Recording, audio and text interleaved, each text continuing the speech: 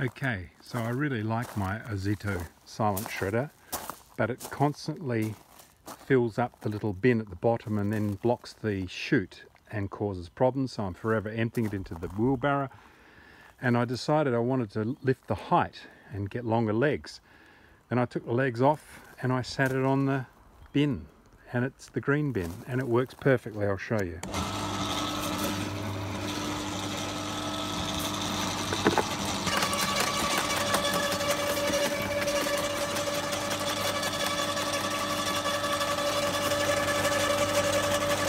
So it goes for a long time before I need to empty the green bin.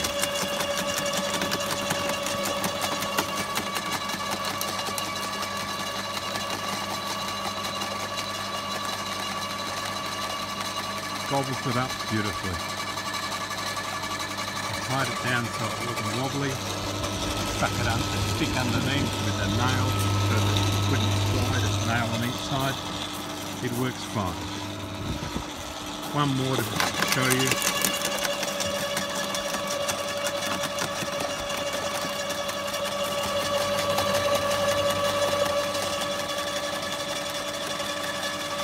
Kevin, thank you.